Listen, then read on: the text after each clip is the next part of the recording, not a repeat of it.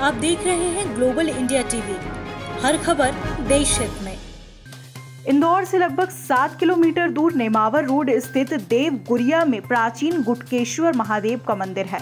यहाँ पर वैसे तो पूरे सावन ही भक्तों का आना जाना लगा रहता है, पर आज सावन के आखिरी सोमवार को बड़ी संख्या में भक्त दर्शन करने आए और गुटकेश्वर महादेव का आशीर्वाद लिया। यहाँ पर लोग दर्शन करने दूर दूर से आते हैं। यहाँ सावन में जो भी भक्त यहाँ आकर दर्शन करता है तो भक्तों की हर मनोकामना पूरी होती है।